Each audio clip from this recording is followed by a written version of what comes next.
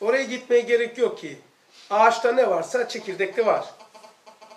Değil mi? Bizde var yani. Şimdi insanda var olan zıtların dengede durması bir yani insanda zıtlar var. Ümit var, korku var. Cehennem arzusu var, cehennem korkusu var. Yani zıtlar var yani. De, deme, ver, verme. İnsanda var olan zıtların dengede durması için mutlaka ikisi olması lazım. İnsan insanlıktan çıkar. Eğer cehennem olmazsa. Birbirlerine malzeme ve zemin oluyorlar. Cehennemle cennet.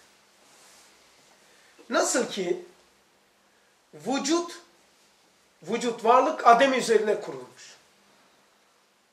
Adem'i çekin. Vücutsuz vücut Adem. Yok. Yok ama varlığın şey, varın yoku. Yani varlığa göre hani bizim anlaşımız var ya artı eksi öyle bir şey değil. Hani şöyle diyoruz ya Allah birdir. Bizim sayısal değerde şöyle bir bir değil yani manasında. Allah nasıl birse onun zıttı işte Adem. Adem'i mutlak yani ama Adem değil. Yani Allah öyle sayısal bir olmadığı gibi öyle sayısal değil yani cennet. Cennet bir tane deyince böyle bir sayısal değil. Cehennem de öyle. Şimdi vücut Adem üzerine kurulmuş. Adem'i çekerseniz vücut olur mu? Olmaz. Cennet de cehennem üzerine kurulmuş. Cehennemi çekerseniz cennet yoktur. Yoktur yani.